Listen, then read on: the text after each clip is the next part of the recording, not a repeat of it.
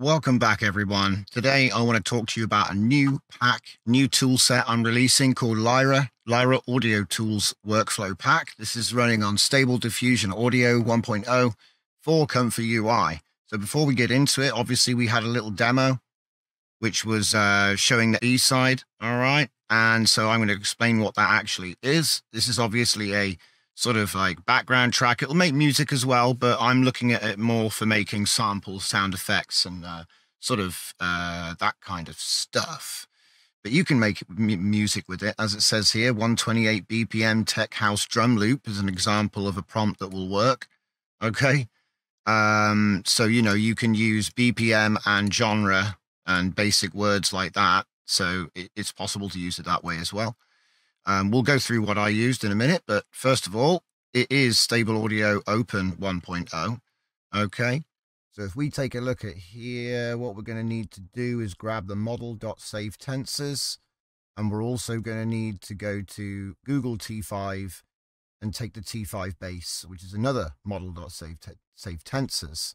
So what we do is we go into clip and we rename it t5 underscore base dot safetensors. So that's this model. And then for the other model, we're just going to call it what it is. So I put it into stable audio, stable audio open 1.0 safetensors. The instructions are in the article on the release page. So you'll be able to get them there. If you just scroll down, show more, you can see here, I usually put all that stuff tells you where to put the model and what to name the file. Okay. Um, I use a subfolder for the checkpoint, so you might not see that everywhere. It's not required. Um, you can just pick it from wherever you have it in the workflow. All right. So with the two models downloaded, you would then drop the workflow into Comfy UI, update to the latest version if you need to, um, it might require some custom nodes you don't have, so just go ahead and install those. So let's go full screen. Obviously, the uh, prompt is positive and negative. All I've done is rainforest noise on night, bird sounds, which came from another example workflow. Distortion as well seems to be a good negative prompt. In the workflow, you'll find links to the uh, Civitai page, and also to the video that'll be actually correct when you get it, uh, unless you're really fast. Uh, it also has the same instructions. So we've got toggles.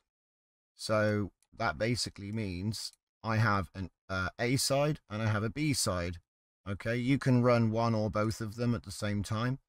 You can run them all at the same time, really. It's up to you. It doesn't matter. What I've done is I've effectively uh, given you text to image and image to image down the bottom. So this bit stays on always, and then you can just toggle which bits you want. So if we just take a look at the A side and see what that list looks like. So rain, forest, noise on night, bird sounds. Now this one is using Euler 20 2.8 CFG, and that sounds a little bit something like this.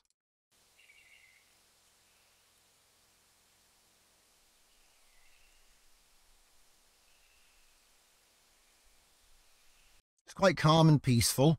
Um, but it didn't seem for me. This didn't seem. Maybe this is like depends on what you're making, I guess. Right, but this is why I've given you an A side and a B side.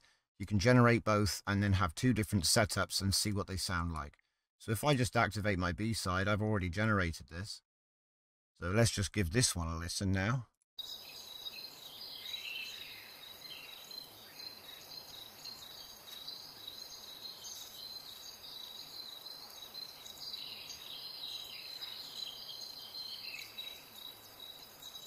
And I hope you can hear that that is a hell of a lot better. Now, obviously, I didn't have to guess. It's literally written right here. So I just took the settings which are here. I couldn't do the Sigmas, which means it's possible to make a even more custom version, which includes this logic.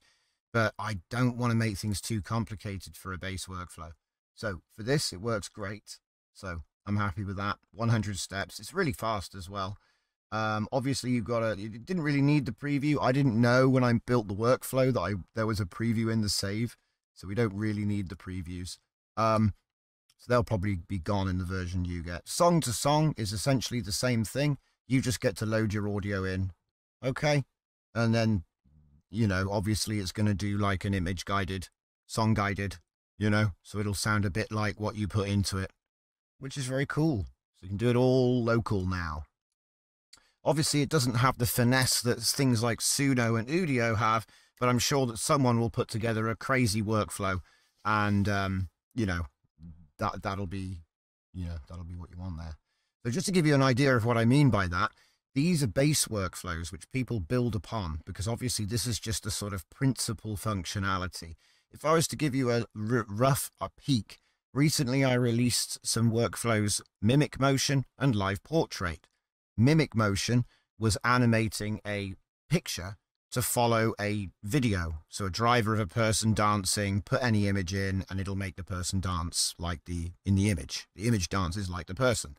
And then Live Portrait um, actually made the uh, video of somebody speaking drive the head of a generated character. So you could have it lip sync and move its head around and stuff, and you could act out the expressions and stuff with like a webcam or a phone or whatever. And somebody has already joined them. So I'll just give you a quick peek of what the monstrosity that actually is.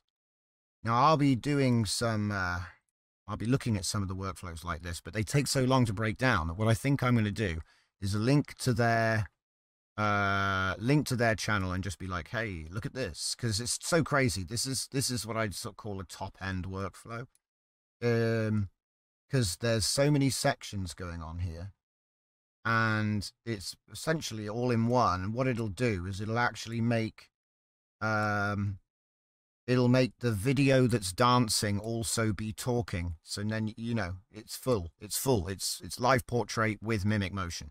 They are put together. I I did run. I think I ran the demo. Oh wait, no, it's not. Sorry, I'm looking at the wrong one. Hang on a minute. This is actually a different one. This is Relight.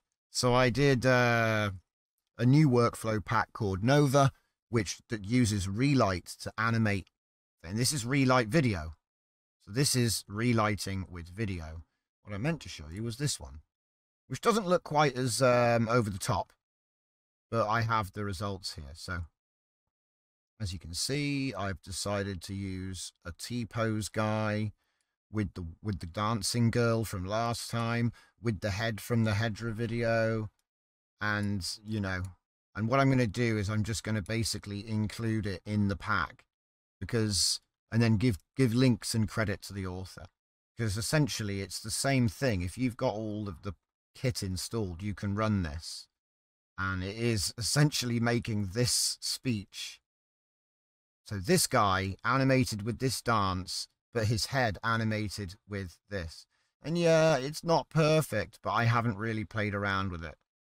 And it's running on 1.5 but again it is still pretty crazy. There you go full credit. There it is. All right, so anyway, back to what we're looking at today, which is Lyra.